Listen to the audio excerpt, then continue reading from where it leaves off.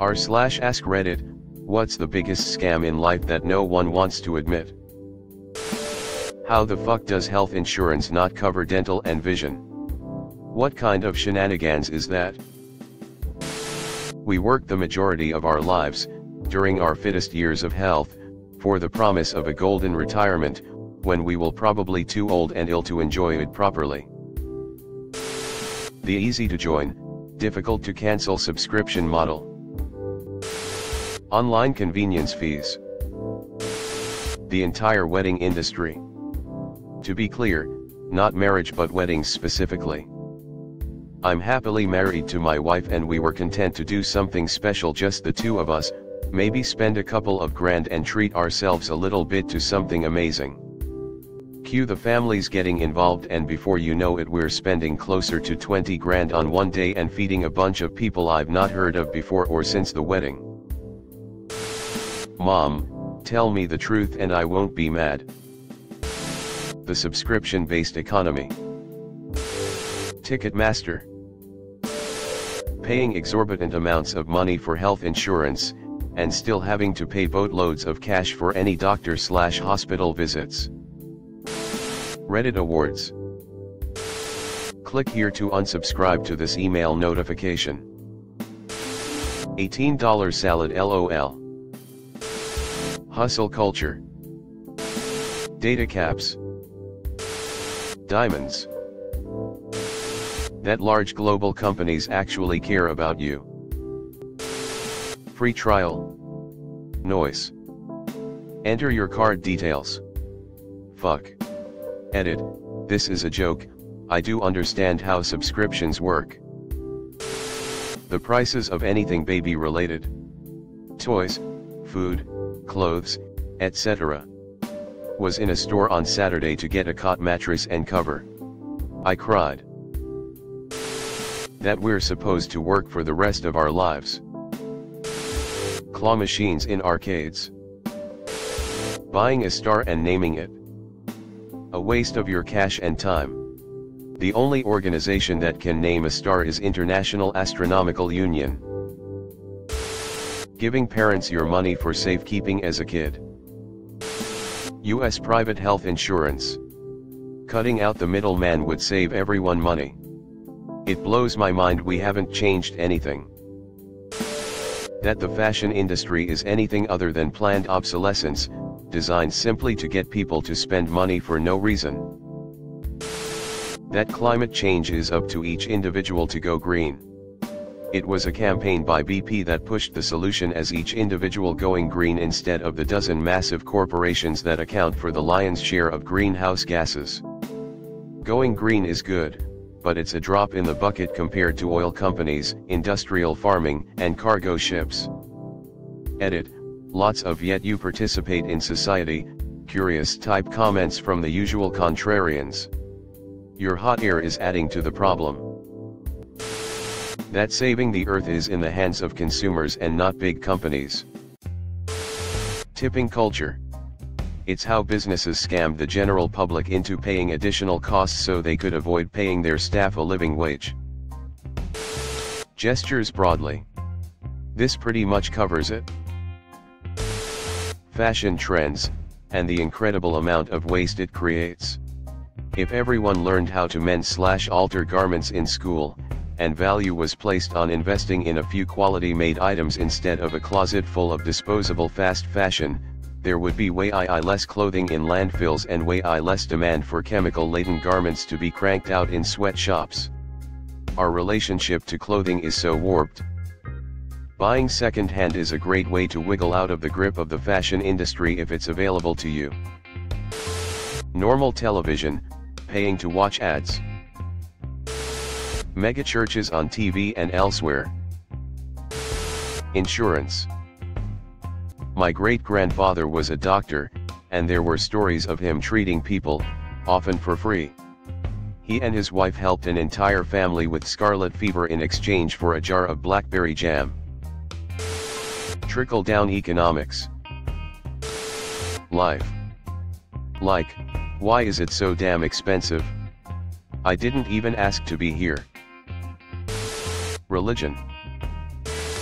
A lot of us have been convinced that we are selling our labor to companies at the correct price, in reality we're selling it too cheaply.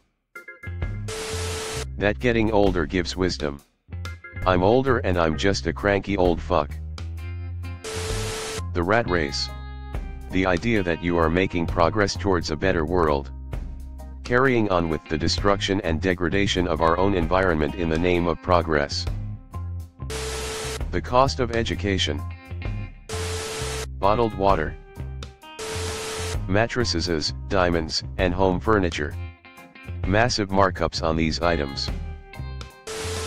The fact that airlines have X amount of seats per flight, but almost always sell X plus 10 seats and then refund you about 80% of your ticket cost.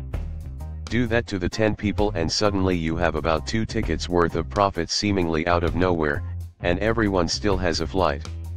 Just an unbelievably immoral way to gain a few bucks, but everyone just goes with it since the airplanes aren't exactly a train that comes every 10 minutes. Needing a college degree for most high-level jobs when there is rarely any relevant knowledge gained from the degree relevant to the job.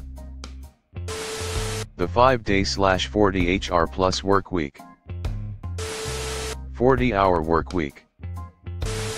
Do what you love for a living, and you'll never work a day in your life.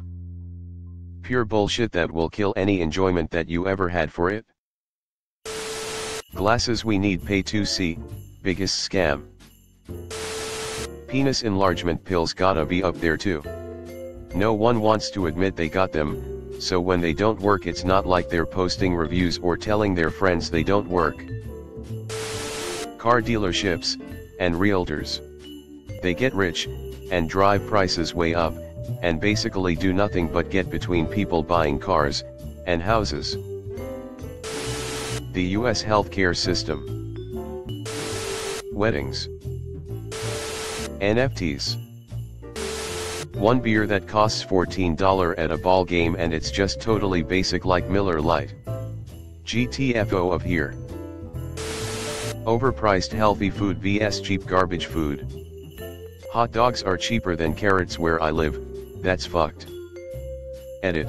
People you can't grow your own food in a small studio apartment or even a one bedroom with your partner. A lot of people can't afford the space for that, but everyone should be able to buy healthy food at a reasonable price. Keeping up with the Jones. Anything for the consumer, it's all built to break so you have to buy it again. Insurance that doesn't even pay for what you need, so, most insurance of most types.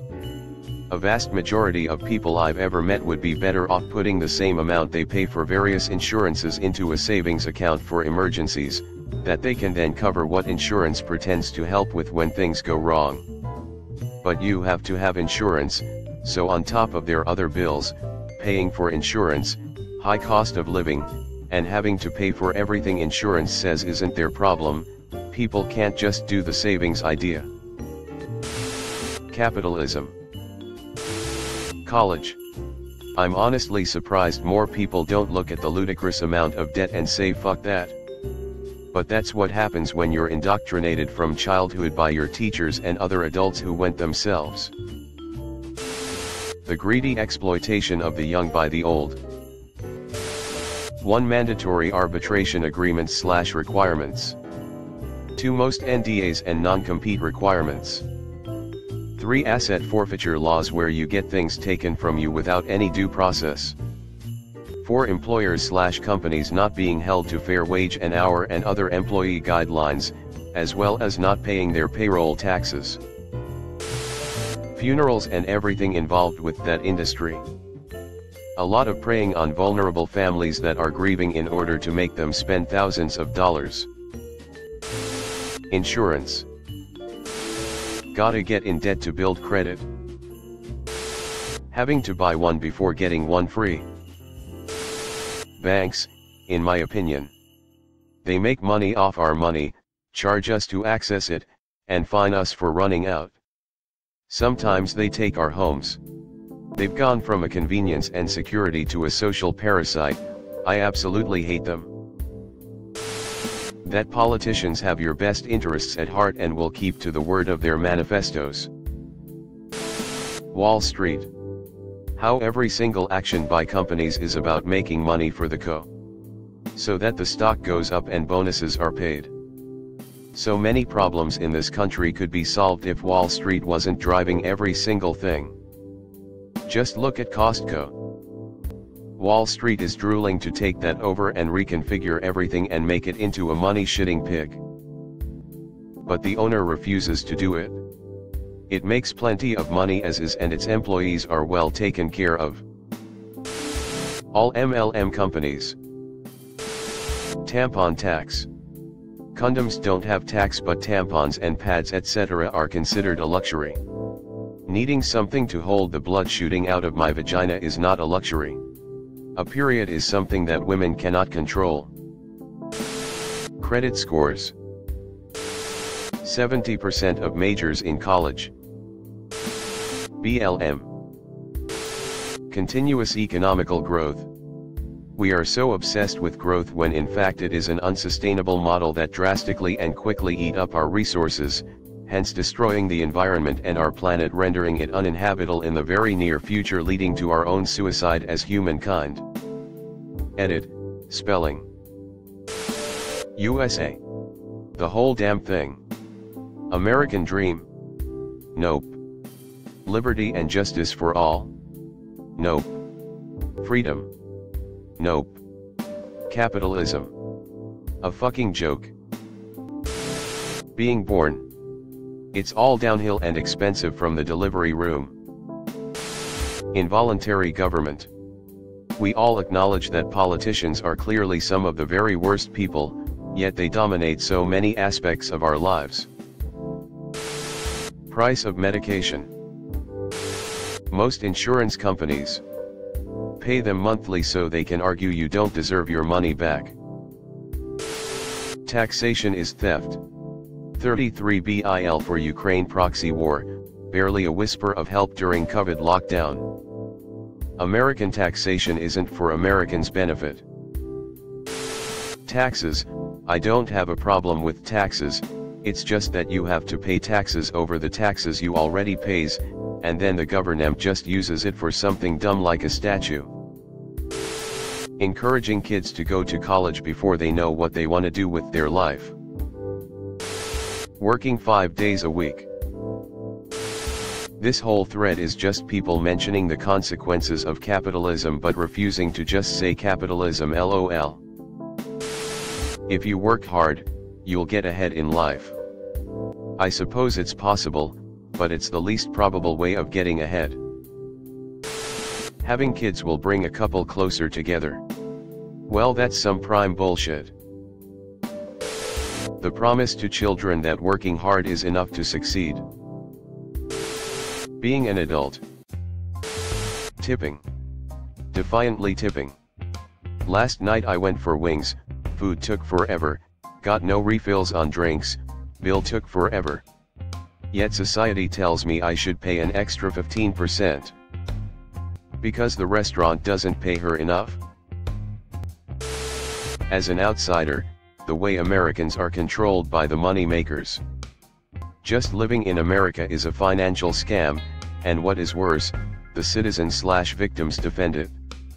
Partly through educational ignorance, i.e. the alternatives are portrayed as socialist etc and partly because of media misrepresentation of what a successful society looks like, i.e. the masses are represented by the top 5% giving all the impression that the system is working for everyone. Thanks for watching, leave a like if you have enjoyed this video and subscribe to never miss an upload.